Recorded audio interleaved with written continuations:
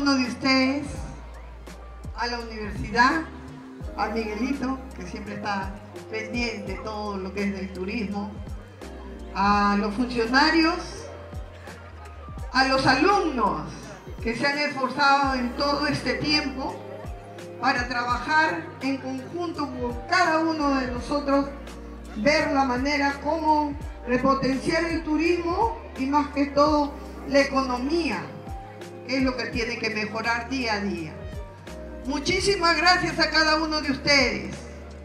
La municipalidad está abierta las puertas para seguir trabajando y seguir esforzándonos por este distrito que es Pucusama. Eso es lo más importante, este proyecto que se va a plasmar en un documento, en un trabajo con experiencia, tiene que volcarse sobre la realidad nuestra para poder mejorar, para poder avanzar.